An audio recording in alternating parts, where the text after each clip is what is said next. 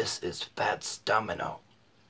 He was a pianist and singer-songwriter that lived between 1928 and 2017.